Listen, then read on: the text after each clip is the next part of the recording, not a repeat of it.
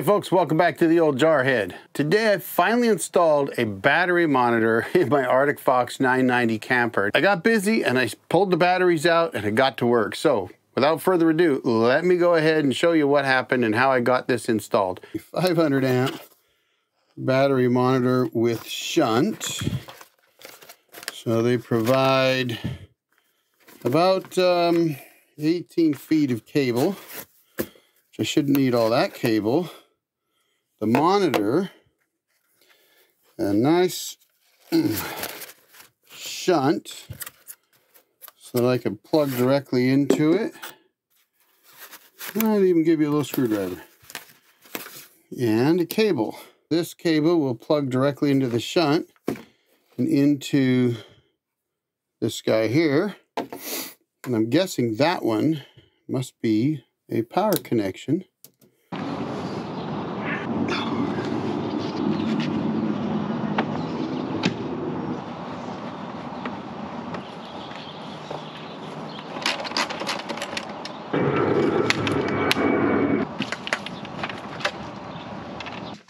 Okay, fun begins.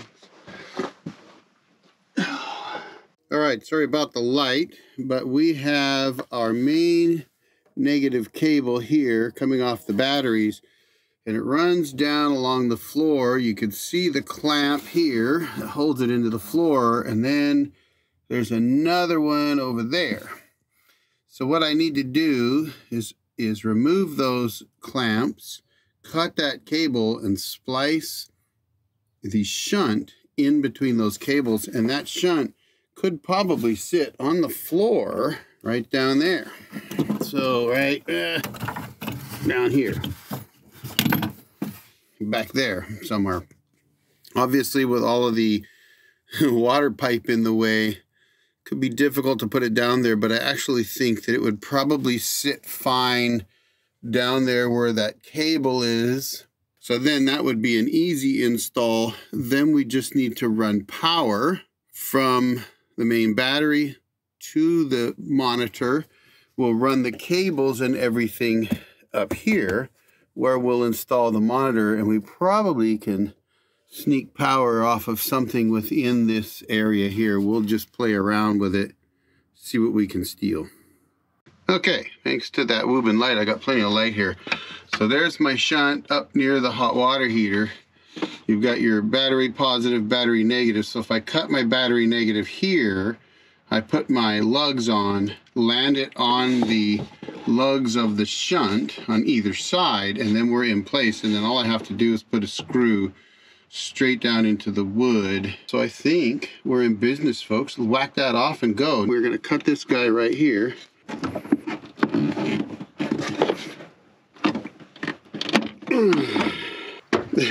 that sudden loss of light was the my Wuben light falling over because I don't have anything metal to hook it to.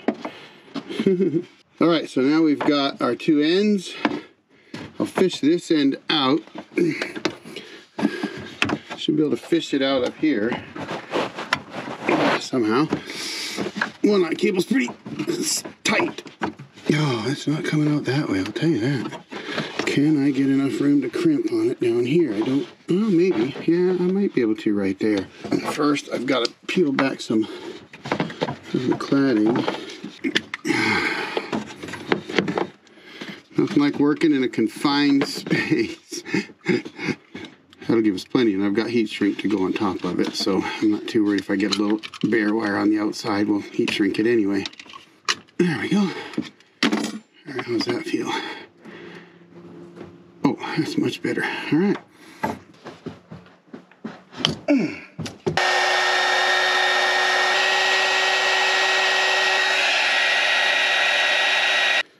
feels good.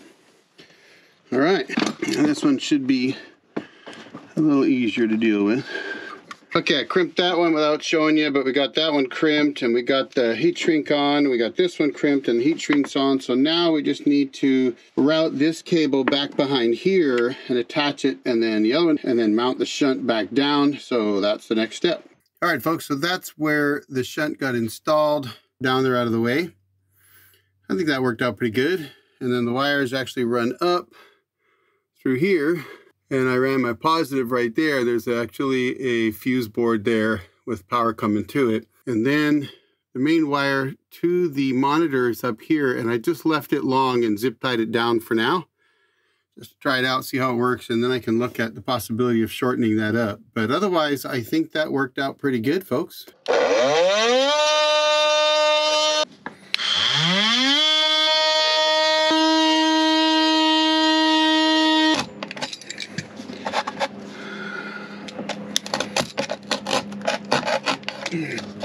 Would be really upset with me if I did this and it didn't look good when I was done.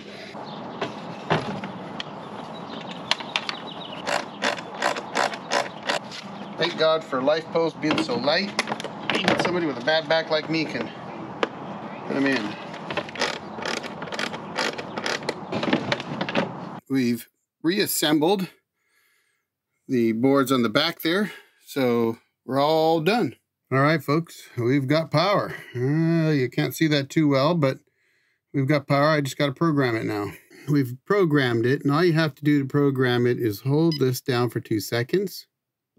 Then it goes into program mode. You have an arrow up and an arrow down. So you can set your full capacity. Now LiFePO 4s are technically full at rest at 13.6 volts. Zero is at 10 volts. Power off, I've set to 12 volts, and that's 20% state of charge. Since that's amp hours, I need to change that. And so we want to go to 30% of remaining, and that's when the alarm would come on. Since it's 200 amp hours, that would be down to 60.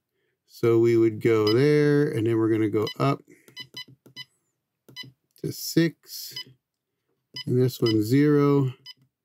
And this one should be zero. So at 60 amp hours, it will turn on the alarm. The attenuation we're not going to mess with. Oops. Okay, here we go. Attenuation we're not going to mess with. And that's the last one you have. So there's all your settings. I just need to check my full voltage because that's full at rest. That's all you got to do. And then you hit that arrow there. That's your return button. So now we have 200 amp hour capacity. It says we're at 100%. Okay, the book says that this 99.59 is hours and minutes remaining. Nice little monitor. The only thing I don't know is uh, when the light turns off, but we'll find out. It doesn't use much power. So kind of cool though actually. I'm i'm pretty i'm pretty happy with that. Real quick i just figured out that if you hold this button down it turns the light on and then if you hold it down again it turns the backlight off so first of all, I want to thank Vatrer for sending me the monitor because they did. This is not a sponsored video, but they did send me the monitor for free so that I could try it out and install it and see how it goes. So thank you, Vatrer, for sending me that. Now, it is placed behind me to my right, your left, down below the sink ledge where there's also an AC plug. So I decided that actually would work pretty good. And frankly, from where I'm sitting right now, I can look down, and although the light's a little bad, so I can't read it at the moment, I could easily turn the light on and see it, or go take a look at it very quickly. And so I like that location. It worked out nicely. It's out of the way. And I think I did an okay job getting it installed. It was a bit tricky, as you saw. I even got it all cleaned up so Darcy won't be mad about the mess. we were talking about worried about rats and mice at the cabin, and she said, Well, it looks like a rat got into the camper. And I started laughing, and I knew exactly what she was talking about. It was all the tools and stuff I had strewn all over the place to do this install. But I have to tell you, the install was actually very easy. So if you've got an Arctic Fox 990 camper or anything similar to that, it really wasn't that hard. And overall, I have to say, I'm pretty happy with it. So again, thanks Vatrer for sending that to me. And thank you for watching the video, folks. I really do appreciate. And here's another one right here for you to check out. Y'all have a great day. The old Jarhead out.